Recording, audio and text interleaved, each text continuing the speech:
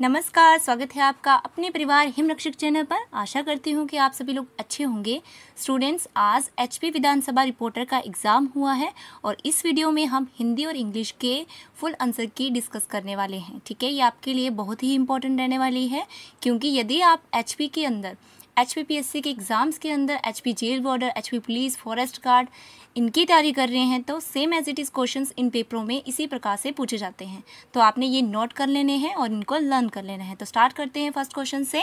Choose the correct change of voice from the given alternative 61 to 63 आपको change of voice दिए गए हैं, ठीक है? 61 क्वेश्चन है and what you can not care यहाँ पर जो करेक्ट आंसर था option number C is a correct what can not be care must be endure is a correct answer next देखते हैं 62 she said to me please wait here till I return तो 62 का जो right answer था option number A is a correct she requested me to wait there till she return next देखते हैं 63 the teacher said to him do not read so fast तो यहाँ पर जो करेक्ट आंसर था 63 का B option is the correct the teachers advise him not to be read so fast ठीक है? नेक्स्ट देखते हैं. Choose the correct preposition to fill in the blanks from the given alternative 64 to 66 आपको question दिए थे, ठीक है? Dash being found he was sentenced to a term of imprisonment तो यहाँ पर जो करेक्ट आंसर था option number A is the correct beside 64 का ए ऑप्शन करेक्ट 65 देखते हैं. The snake crawl dash its hole तो यहाँ पर D option is the correct into next देखते हैं 66 he will join college dash tomorrow तो C option is the correct from 67 देखते हैं. Pick out the correct tense of the sentences from the given alternative question number 67 to 69 तो यहाँ पर 67 to 69 आपको tenses के अकॉर्डिंग चूज़ करने के लिए दिए गए थे। तो यहाँ पर they have been playing since morning तो option number B is the correct present perfect continue 68 question देखते हैं। In a few months he will be speaking English frequently तो यहाँ पर जो है option number B is the correct future continues next देखते हैं। I have not said anything objectionable तो यहाँ पर जो था A option is correct present perfect next आपको दिए वन वर्ड सब्सटीट्यूशन दिए गए हैं सेवेंटी टू सेवेंटी टू तक, ठीक है? सेवेंटी टू सेवेंटी टू तक आपको वन वर्ड सब्सटीट्यूशन दिए गए हैं।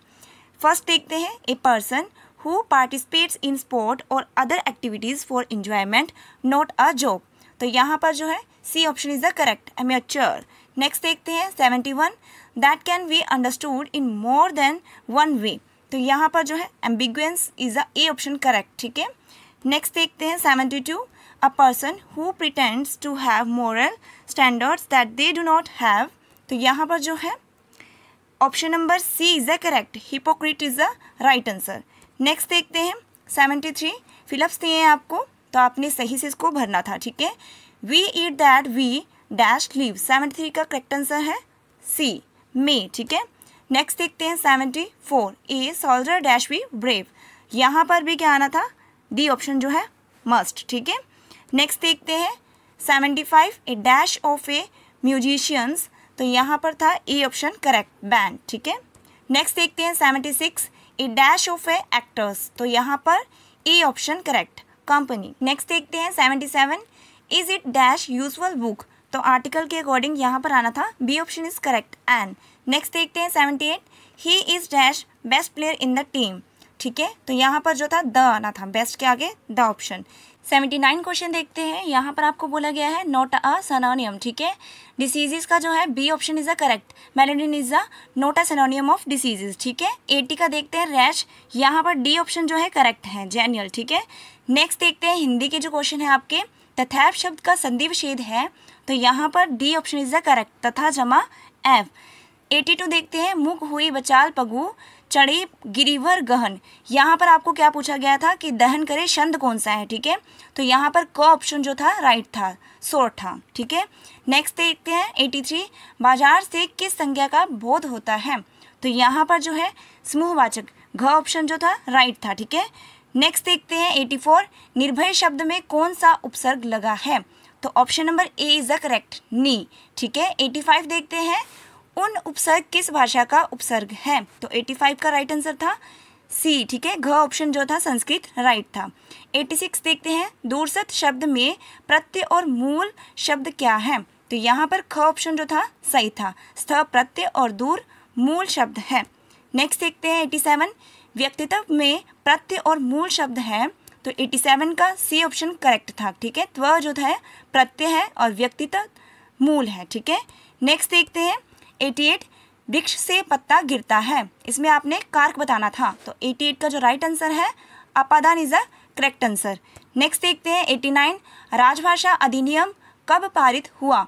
तो ए ऑप्शन जो था क ऑप्शन जो था, ठीक था, ठीक है? 1963 नेक्स्ट देखते हैं, संविधान के किस अनुच्छेद के अनुसार संघ की राजभाषा, हिंदी और लिपि देवनागरी है? तो क ऑप्शन करेक्ट था, अनुच्छेद तीन नेक्स्ट देखते हैं मैथिल कोकिल किसे कहा जाता है? तो क option is the right Vidyapati next देखते हैं मधुशाला किसके द्वारा लिखी गई है? तो ये हरिवंश राय बच्चन के द्वारा लिखी गई है, घ ऑप्शन ठीक है? पृथ्वीराज रासु का रचिता किसे माना गया है? तो यहाँ पर ग option is the correct चंद्रवर Dai ninety four question देखते हैं। अमीर खुसरो किस तरह की रचनाओं के लिए प्रसिद्ध रहे हैं? तो यहाँ पर ख ऑप्शन करेक्ट है, गज़ल। नाइन्टी फाइव यामा किस रचनाकार की कविता है? महादेवी वर्मा घ। नेक्स्ट देखते हैं, आपको विलोम शब्द दिया था। गृहद का, यहाँ पर नाइन्टी सिक्स का जो राइट आंसर था A option is the correct त्यक्त next देखते हैं, वाक्यांश का अर्थ, स्पष्ट करने के लिए शब्द शांटिए तो 97 का जो था, मुक्ति की इच्छा रखने वाला। 97 में A option is the correct मुमुक्षु। नेक्स्ट देखते हैं 98 जिसका कोई शत्रु ना हो तो उसे क्या कहते हैं? ग ऑप्शन इज़ द राइट ठीक है? आज़ाद शत्रु।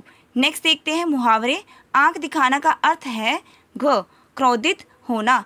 लास्ट क्वेश्चन है और एंड ऑफ़ द वीडियो आपने मुझे मार्क्स ज़रूर बताने हैं, ठीक है? मुहावरा है, अंगारों पर लेटना का अर्थ है D option is the correct ईर्षा करना, ठीक है? तो हिंदी इंग्लिश का सेक्शन कंप्लीट होता है और आपने मुझे अब मार्क्स ज़रूर बताने हैं कि आपके हिंदी और इंग्लिश सेट में आपके कितने मार्क्स बन रहे हैं। यदि आपको ये वीडियो पसंद आई हो प्लीज़ वीडियो को लाइक करें कमेंट करें और ज़्यादा से ज़्यादा शेयर करें। सबसे इंपॉर्टेंट बात चैनल को सब्सक्राइब करना ना भूलें। धन्यवाद।